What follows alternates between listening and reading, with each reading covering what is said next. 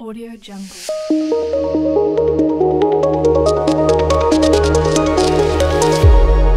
Audio Jungle. Xin chào các bạn lại là mình Sakura đây. Hôm nay mình sẽ review phim Trận chiến thời tiền sử. Đây là bộ phim kể về loài người bên ngoài hành tinh đã vô tình phát hiện ra trái đất. Họ phải đối mặt với đám khủng long bạo chúa thời tiền sử. Trong khi đó, còn phải tìm cách thoát khỏi thảm họa thiên thạch đã làm loài khủng long tuyệt chủng. Liệu những người ngoài hành tinh này có sống sót được không? Mời các bạn cùng Sakura đón xem review hôm nay nhé. Câu chuyện bắt đầu từ 65 triệu năm trước, trong không gian vô tận của vũ trụ có rất nhiều nền văn minh, Tại một hành tinh sống tên Somazit, con người ở đây đã đạt những thành tựu khoa học nhất định. Nam chính Adam có vợ và con gái nhỏ, tuy nhiên cô con gái nhỏ lại mắc một căn bệnh nan y. Adam là một phi công của một hạm đội bay, anh phải đánh liều đi xa một phen, để có nhiều tiền cho cô con gái nhỏ trị bệnh. Trước khi rời đi anh còn dạy con gái thổi sáo bằng tay không, tưởng không khó nhưng lại khó không tưởng, mặc dù không muốn xa bố, nhưng cô biết ông ra đi một phần cũng chính là vì mình. Tại sao lại có những đứa trẻ hiểu chuyện đến đau lòng vậy chứ? Vì nền văn minh của họ cực kỳ tiến bộ, họ du hành trong vũ trụ để giúp đỡ các hành tinh có sự sống khác. Vì hành trình khá xa nên họ ở trạng thái ngủ đông. Nam chính Adam tỉnh dậy phát hiện phi thuyền rơi vào vùng có rất nhiều thiên thạch. Phi thuyền lập tức đánh thức phi công từ buồng ngủ đông.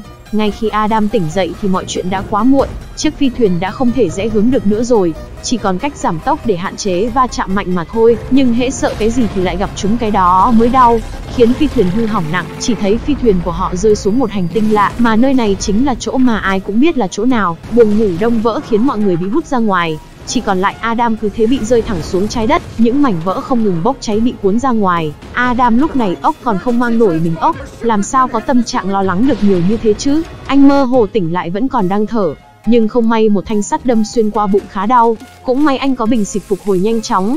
Con vợ mặt lấy đồ bảo hộ đi ra ngoài, nhưng nhìn cảnh phi thuyền đã biến dạng như một cái kho đồng nát, kiểu này còn sửa cái gì nữa trời, anh liền khám phá cảnh vật bên ngoài. Trái đất khi này đang thời kỳ khủng long hơn 65 triệu năm trước, anh cảm nhận được có thứ gì đó nguy hiểm xung quanh, nhưng mãi vẫn không thấy gì cả. Adam thấy bên cạnh toàn xác đồng đội nằm chết la liệt, anh đau đớn gào thét trong tuyệt vọng. Sau đó anh trở về phi thuyền, chỉnh lại thiết bị liên lạc vô tuyến, để truyền tín hiệu cầu cứu về hành tinh mẹ, nhưng hiện thực lại tát một cái rõ đau. Con vợ khá bất ngờ khi trái đất có thể thở được, nhưng anh hoàn toàn chưa hiểu tí gì về hành tinh này, đang lúc chán như con rán vì phải ở nơi khỉ ho có gáy này. Ở cái thời còn khủng long như này, sợ là lên rừng chưa chắc đã có khỉ mà chơi nữa á. Phi thuyền lại báo trong cabin vẫn còn có người còn sống. Adam ra ngoài quả nhiên tìm thấy một người, mặc dù chịu va chạm mạnh khi rơi ra khỏi phi thuyền, nhưng rất may sinh chắc học vẫn còn cho thấy tín hiệu sống vẫn bình thường. Anh mau chóng mở cabin giúp cô bé tỉnh dậy. Tuy nhiên do ở trạng thái ngủ đông quá lâu, nên cô bé không còn đủ sức để tỉnh táo như anh. Adam đành phải tạm thời mang cô bé về phi thuyền trú ẩn. Bên ngoài này vẫn thật sự quá ư là nguy hiểm với họ. Nhưng trên đường trở về lại thấy những dấu chân cực khủng. Trên hành tinh của anh chưa có như vậy bao giờ. Adam kiểu tôi năm nay 40 tuổi vẫn chưa thấy cái trường hợp này bao giờ. Hóa ra Adam đến trái đất thời điểm 65 triệu năm về trước, trái đất hoàn toàn chưa có con người, khắp nơi chỉ là các khu rừng nguyên thủy, hoặc là các bộ xương khổng lồ sau khi bị khủng long ăn thịt. Sau một đêm gánh đứa nhỏ còng cả lưng, thì Adam cũng mệt mỏi tỉnh dậy, đứa bé cũng đã thức tỉnh nhưng vẫn giả vờ như còn hôn mê. Xem ra cô bé vẫn còn đề phòng với người lạ mặt, không thể cứ ở mãi trong này chịu chết. Adam tò mò bước ra ngoài tìm một phần của con tàu bị rơi ra, nơi đó vẫn còn thức ăn và các thiết bị vật tư cần thiết. Nhưng vừa đi không được bao lâu anh đã nhận thấy sự bất thường, xương động vật ở đây có vẻ lớn hơn người bình thường, không những thế răng nanh cho thấy bọn này không phải là dạng ăn chay. Anh đi qua một thung lũng bốc đầy hơi nước, mà hơi nước ở đây vô cùng nóng, nhiệt độ có thể lên đến vài trăm độ C, nếu không may lọt vào một cái hố này thôi thì sẽ có ngay món khủng long hấp nhiệt cách thủy cho mà xem, không dừng lại ở đó. Adam lấy máy quét công nghệ cao ra xem định vị, máy quét cho thấy mảnh vỡ chứa đồ ăn của phi thuyền cách đó không xa, nhưng anh nhìn thấy bên dưới lại toàn là khủng long ăn thịt. Bất ngờ một con lao lên định sơi tay anh, cái gì vậy bà nội, tao mới đúc đầu xuống nhiều chuyện có chút hà, vậy mà cũng cắn tao là sao vậy, bộ hết người để mày cắn rồi hả, thấy bố hiền mày ăn hiếp hả con trai, phải vất vả lắm. Adam mới hạ được nó, lát sau, con vợ quyết định quay về, nhưng lại phát hiện tiếng động lạ trong lùm cây, anh đưa súng lên phòng thủ, nếu là khủng long thì cho em nó một viên kẹo đồng ngay lập tức, lại phát hiện cô bé ở cùng phi thuyền đã tỉnh lại, anh cũng chỉ có ý tốt giúp cô bé, nhưng cái mặt nhìn nghiêm túc này làm cô bé sợ hãi bỏ chạy sắp mặt, hai người trượt chân xuống một xác con thú rất to, hai chú cháu đang nhiều chuyện thì bị một tiếng động làm cho giật mình, hết hồn con chuồn còn nguyên à, thấy gần đó có khủng long đến gần, với kinh nghiệm đánh hơi được mùi nguy hiểm, Adam liền kéo cô bé chạy đi ngay lập tức, bớt hóng ra ma lại đi con gái. Hai người vội vàng về phi thuyền trú ẩn. Dựa vào danh sách hành khách Adam biết tên cô bé là cô A, anh ân cần lấy thuốc bôi lên vết bỏng trên tay cô bé, còn cẩn thận băng bó tránh không để vết thương không bị nhiễm trùng. Nhưng vì cô bé ở hành tinh khác nên ngôn ngữ cũng khác, hai người cũng không thể hiểu nhau nói gì. Thế là cảnh tượng bỗng trở nên mạnh ông nói gà mạnh bà nói vịt. Nhưng cứ nói như vậy hoài cũng không phải là cách, Adam chỉ đành phải vẽ lên bàn để giao tiếp cô bé. Dường như cách giao tiếp này có vẻ thu hút cô bé hơn.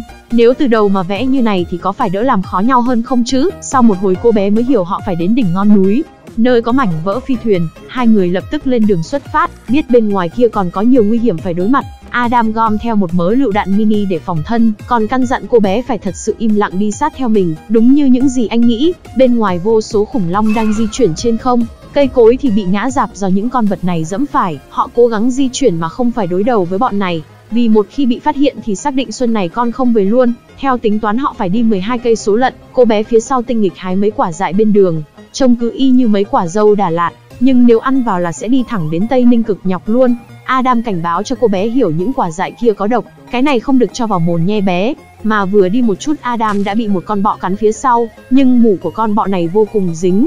Anh chê chét lên một thân gỗ mục bên đường, kết quả bật ngửa té sắp mặt lở, ơ kìa sao miếng gỗ lại dính hẳn vào tay của anh rồi. Cô bé thừa cơ hội cười vào mặt của Adam, chưa kịp hoàn hồn đã thấy những cái cây đổ xuống, cô bé thấy chú khủng long xa lầy liền tiến đến giải cứu. Adam không muốn dính dáng vào đống rắc rối này, nhưng thấy cô bé có vẻ muốn cứu cho được chú khủng long tội nghiệp, anh đành phụ một tay với cô bé, sau một hồi đã kéo nó ra khỏi vũng bùn. Không ngờ vừa đi được vài bước đã bị bọn khủng long khác ăn thịt, Adam vội ôm cô bé núp vào bụi cây, nếu la làng lên lúc này, chẳng khác nào lại ông tôi ở bụi này, cho mấy con đó làm gỏi cả đám hay sao?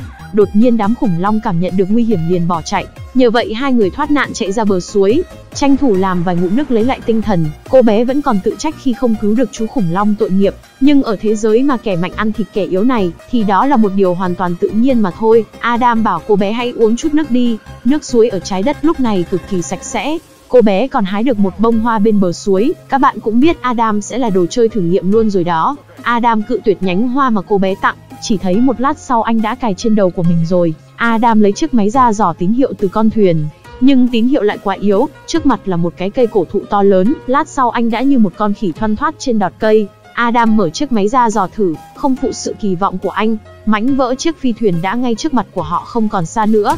Bất ngờ trượt chân ngã xuống đất chật bốn nó khớp vai, Adam đập vai vào cây để ép khớp lại. Cô bé định giúp đỡ anh một tay, ai ngờ phía xa có tiếng động quen thuộc truyền đến, nhưng chưa kịp gì cô bé đã thấy đám khủng long khác tới. Vâng bọn này chẳng ai xa lạ, chính là đám khủng long thằn lằn lươn lẹo. Adam kêu cô bé đạp vào tay mình, nhờ vậy đã giật vào được khớp, kịp thời bắn súng giải quyết mấy em khủng long này, nhưng càng bắn thì chúng lại càng đến đông hơn nữa. Cô bé chạy ra bãi biển, Adam ở lại ném ra ba quả lựu đạn nổ banh sắc chúng, rồi dùng súng tiêu diệt hết những con còn lại. Cô A lúc này ngoài biển bị khủng long bay vây quanh, cô bé lùi vội ra sau cây gỗ mục, đúng là tránh vỏ dưa lại gặp chúng vỏ dừa, sợ cái gì thì y rằng sẽ gặp phải cái đó ngay.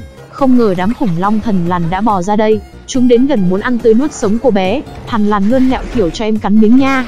May rằng lúc nguy cấp Adam đã ra tay bắn hạ, tưởng ngon rồi Adam ngồi xuống nghỉ, bất thình lình một con cắn áo cô bé lôi đi, thằn lằn lươn lẹo với cái nết cứ như là chớt đói ba đời vậy, không muốn bỏ qua cho cô bé, Adam vất vả lắm mới đuổi được nó, nhưng quay lại đã không thấy cô bé đâu rồi, Adam tìm mãi mới thấy. Hóa ra cô A quá sợ hãi đã trốn vào một mỗm đá, thậm chí còn không cho Adam đến gần. Con vợ cứ vậy đợi cô bé mất nữa ngày sau, anh canh phòng lo bọn thằn lằn lươn lẹo quay lại kiếm ăn, mãi đến tối cô A mới cho phép Adam cổng mình di chuyển. Hai người ngồi nghỉ tại một hang động, Adam cẩn thận cắm cọc bảo vệ xung quanh. Anh nhớ con nên máy ra chiếu hình con gái, cô A nhận thấy cô bé kia cũng chạc tuổi của mình. Trong lòng cũng cảm thấy bớt cô đơn, như tìm được một người bạn đồng hành vậy. Một lát sau hai người đi ngủ, Adam đã khóc cả một dòng sông, khi nhớ lại con gái mình đã không thể qua khỏi cơn bạo bệnh, anh cũng không ở bên cạnh con gái giây phút cuối đời, trong lòng vô cùng tự trách, nửa đêm bất ngờ chuông cảnh báo kêu vang ầm ĩ. Hơn nữa, cô bé bất tỉnh miệng sủi bọt, Adam mở miệng ra thấy có con bọ bên trong, anh vội vàng giết con bọ mới cứu được cô bé. Vừa hay lúc này đèn cảnh báo kêu rất rồn rập, Adam nhận ra nguy hiểm đang đến gần, liền cầm súng lên cảnh giác xung quanh. Quả nhiên phía sau xuất hiện khủng long bạo chúa khổng lồ. Ủa alo, anh ở sau lưng của hai cưng nè. Thôi bớt giỡn đi bạn khủng long ơi, bạn chơi vậy ai chơi lại. Adam bật súng cao nhất lên bắn trả, tranh thủ lúc nó đau vội chui vào lỗ hang bên trong.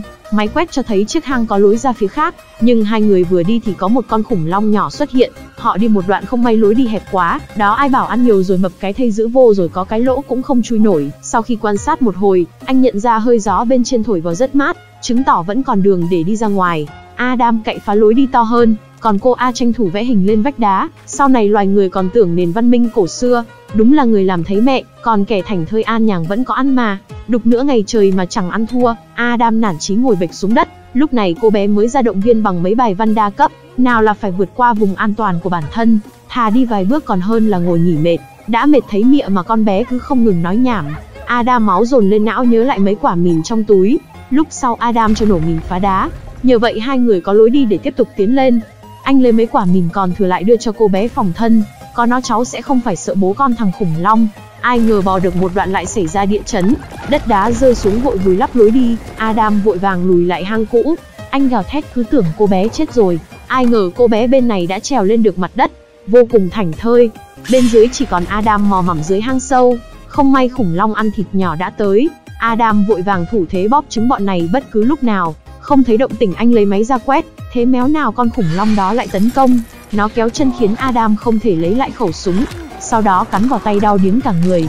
Anh ấn đèn làm chói mắt của em khủng long, khiến nó sợ hãi giật mình lùi về sau, mãi về sau mới với được súng hạ con quái vật. Phía bên ngoài cô bé một mình đã đi khá xa, thấy chiếc răng khủng long khá to, cô bé tạm thời lấy nó làm vũ khí, không chỉ vậy còn cẩn thận đập trái dại rồi gói cho chiếc răng cho nó thấm chất độc.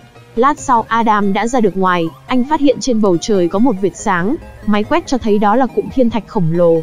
Đây chính là cục thiên thạch hủy diệt thời kỳ khủng long, chỉ còn 12 tiếng nữa nó sẽ chính thức va chạm với trái đất. Adam vội vàng đi tìm cô bé. Họ không còn nhiều thời gian vì thiên thạch sắp rơi. Cô A bên này bị một con khủng long suýt ăn thịt. Chị ơi, cho em cắn miếng đi mà. Cô bé vội vàng chui tạm vào gốc cây. Adam nghe tiếng chạy hết tốc lực, thế méo nào lại nhảy ngay vào vũng sình lầy. Phía bên này khủng long nhỏ vội đuổi đến. Ủa alo, trụy trốn ở đây làm người ta tìm muốn chết hà. Cô bé vội trèo lên, liền đạp cho cái hang nhỏ đổ sụp xuống giam con khủng long nhỏ bên trong. Ngay sau đó vội thả vô số lựu đạn vào nổ banh xác quái vật. Adam ở đây dần dần bị hố bùn nuốt chửng. Vào lúc hoàn toàn không còn động tĩnh gì, bất ngờ cô bé kéo một cành cây xuống cho Adam đang bám lấy. Anh đi cứu cô bé nhưng cuối cùng lại để cô bé cứu mình. Adam vui mừng hớn hở ôm lấy cô A, xem cô bé như con gái nhỏ của mình. Máy quét cho thấy 12 giờ nữa thiên thạch lớn sẽ va chạm. Ngay tối đó, một mỏm đá cao chặn lối đi giữa hai người. Adam đẩy cho cô bé lên trước, thế mà anh ở dưới đợi mãi không thấy cô bé đâu. Một tiếng sau thấy cô bé thả dây xuống, hóa ra phía cô bé buộc dây cẩn thận như vậy. Ha ha đúng là con gái của ta. Hai người cuối cùng đã tới mảnh vỡ của phi thuyền. Hệ thống điện ở đây vẫn còn hoạt động, mà hình báo tàu cứu hộ từ hành tinh mẹ đang tới. Adam hết sức vui mừng, nhưng cô bé lại vô cùng đau khổ. Vì bố mẹ Alisa ở trong cabin đã bị chết rồi, mặc dù hai người không hiểu tiếng của nhau, nhưng Adam vẫn lấy ảnh con gái mình ra an ủi cô bé, anh muốn nhận cô gái làm con của mình. Cuối cùng cô bé cũng hiểu ôm chầm lấy Adam, đúng lúc này các mảnh thiên thạch nhỏ rơi xuống, hai người vội vàng vào cabin thoát hiểm, nhưng chưa kịp phóng một thiên thạch đã rơi vào phi thuyền, khiến cabin phóng do vậy mà rơi xuống vực, các thiên thạch rơi xuống lại càng nhiều hơn, phía bên dưới cô bé đã tỉnh lại, thấy hai người bị treo ngược, màn hình cũng báo cabin báo hỏng rồi, đạo diễn sợ hai người không đủ vận xui, đã thế một khủng long bạo chúa tiến đến tấn công, nó ra sức cào xé muốn nuốt sống hai người, đúng là thứ gì chứ không phải thứ bảy chủ nhật, Adam tỉnh dậy thấy súng rơi bên ngoài, anh lập tức tháo dây bảo hộ chạy ra ngoài lấy súng, khốn nạn thay khi bật súng lại bị lỗi phần mềm, thấy con khác tiến tới anh chỉ đành bỏ chạy, anh chui tạm vào một xó rất nhanh đã sửa được súng, nhưng sửa xong lại không có đất dụng võ, vì hai con khủng long bé bự đang đánh nhau bên ngoài. Lúc nguy cấp cô bé lấy máy chiếu ra chiếu hình ảnh con gái. Khủng long bị thu hút đắp hình ảnh liên tục, Adam nhân cơ hội bắn hạ một con, nhưng con còn lại nó chuyển hướng sang cô bé. Nó lao vào hất vang chiếc ca binh lộn nhào mấy vòng. Adam xông lên lấy súng điên cuồng bắn bị thương nó, đưa cho em nó về miền Tây Ninh cực nhọc, mà nhờ cú hút của con khủng long lúc này, cabin cũng đã vô tình được kích hoạt lại thành công. Bên ngoài Adam sung sướng vứt miệng súng đi, nhưng không hiểu kiểu gì vẫn còn một con khủng long nữa. Con này bị thương chứng tỏ là con bị anh bắn lúc này. Adam vội kêu cô bé phóng tàu đi trước, còn bản thân anh chạy đi xa để làm mồi nhử. Con khủng long cũng điên cuồng truy sát anh, nó muốn trả mối thù kẻ đã làm hủy dung nhan của mình. Không may trượt té bị chật chân, anh nhận ra phía trước có suối nước nóng. Adam cố gắng lê lết chạy về phía này, con khủng long ngu ngốc đuổi theo, vẫn hồn nhiên như cô tiên mà không biết mình sắp bị dính bẫy, cuối cùng bị suối nước nóng phụt lên thẳng mặt. Adam nghỉ kiểu này được ăn thịt khủng long hấp nhiệt cách thủy Hồng Kông bên hông chợ lớn, nhưng mà làn xương khói tan thì mặt bé bự hiện ra, Cúc Hà. Bất ngờ chưa con trai, Adam lúc này cũng đã hết quần để thay rồi, tưởng chừng lúc này Adam bị làm gỏi mất tiêu. Bất ngờ lúc này đạo diễn bẻ cô một phát bể mấy cái nón bảo hiểm, cô bé xuất hiện lấy chiếc răng tẩm độc đâm thẳng vào mắt bé khủng long. Quái vật hất cô A xuống đất, nó đau đớn như bị bóp trứng loạn choạng đi lung tung. Ê con nhỏ kia tao đã làm gì mày chưa? Kết quả suối nước nóng một lần nữa phụt mạnh, yêu ra nóng chết em rồi hu hu. Lần này thì bé khủng long đã bị hấp chín thật rồi. Cô bé lần thứ hai cứu sống Adam. Lúc này các vệt sáng trên trời kéo gần tới, chứng tỏ thiên thạch sắp va chạm với trái đất thật rồi. Hai chú cháu vội vàng quay trở lại cabin, may mắn vào giây cuối kịp thời khởi động cabin phóng thẳng lên trời. Vừa kịp lúc thiên thạch lớn va chạm với trái đất, vụ va chạm khủng khiếp không thể tưởng tượng nổi. Nó thiêu rụi hầu hết bề mặt trái đất, khiến 99% sinh vật trên trái đất bị tuyệt chủng. Chỉ còn một số động vật nhỏ tiến hóa sau này trở thành con người ngày nay. Adam và cô bé cũng đã đến được địa phương chờ thuyền cứu hộ. Không biết đến giờ họ còn sống không nữa, mà sao chưa thấy quay trở lại trái đất. Bộ phim đến đây là hết rồi, mặc dù có hơi ảo ma Canada một chút, nhưng không ai biết bên ngoài ngân hà, có hành tinh nào có nền văn minh tiến bộ hơn trái đất không nữa. Liệu một ngày nào đó con người sẽ tìm ra họ, hay họ sẽ tìm ra trái đất trước nhỉ? Rất cảm ơn các bạn đã ủng hộ Sakura, để kênh có thể phát triển như ngày hôm nay. Nếu thấy hay hãy cho mình một like, cùng với một bình luận cảm nhận về bộ phim này nhé. Đặc biệt là hãy đăng ký kênh để theo dõi những tóm tắt phim mới nhất của mình. Hẹn gặp lại các bạn thân yêu.